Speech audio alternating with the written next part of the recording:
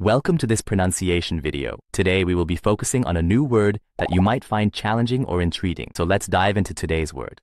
Innenministerium, which means, Ministry responsible for internal affairs within a government. let's say it all together. Innenministerium. Innenministerium. Innenministerium. One more time. Innenministerium. Innenministerium. Innenministerium. Thank you for joining us on this adventure in pronunciation. Remember, language is a journey, not a destination. Keep exploring, experimenting, and expanding your linguistic horizons. We'll see you next time.